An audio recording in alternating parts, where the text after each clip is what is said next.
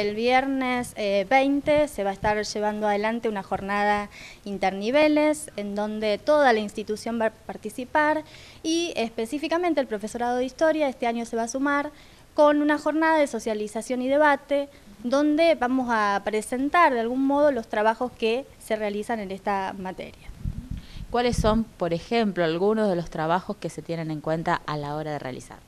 Bueno, en realidad eh, en esa materia eh, se propone llevar adelante el oficio de este, la investigación histórica y este, los estudiantes eh, llevan adelante em, de alguna manera una pequeña investigación que puede estar asociada, o en este caso va a estar asociada a cuestiones que tienen que ver con el origen del Estado Nacional Argentino, por un lado, eh, las distintas prácticas de sociabilidad que se van a dar en el marco del proceso inmigratorio eh, y también hay otras que tienen que ver con nuestro pasado o más reciente, por decirlo de algún modo. Con respecto a los alumnos del profesorado que van a estar participando desde todos los años del profesorado de historia o algún año en particular? No, eh, en este caso quienes van a estar a cargo de la exposición van a ser estudiantes de tercer año de la carrera. Y bueno, van a estar eh, invitados todos y todas. El día viernes a las 11 de la mañana vamos a arrancar y este, va a durar aproximadamente hasta las 14 horas. ¿Esto va a ser dentro de la institución? Sí, va a ser dentro de la institución. Ya tenemos asignado salón y, todo.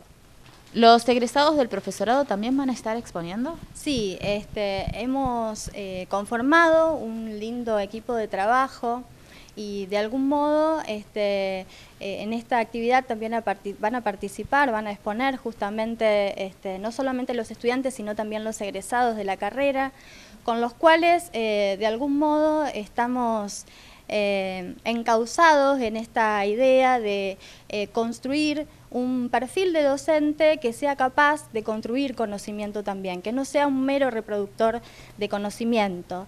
De ahí que este, estas actividades son muy importantes ya que este, les permite a ellos forjar su, propio, su propia investigación, inmiscuirse en lo que es la búsqueda documental este, y hacerse interrogantes acerca de, bueno, de nuestra historia argentina por lo general. El hecho de que justamente esta jornada sea de interniveles está abierta también a toda la comunidad y aquellas que, personas que visiten la muestra pueden también consultar cualquier duda, ¿no? Sí, este, está abierta a toda la comunidad.